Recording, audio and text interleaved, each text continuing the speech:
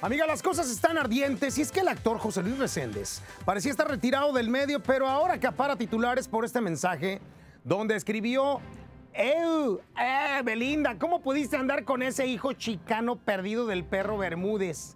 Cabeza de glande ilustrado. Lupillo Rivera, voz de por ocho desahuciado.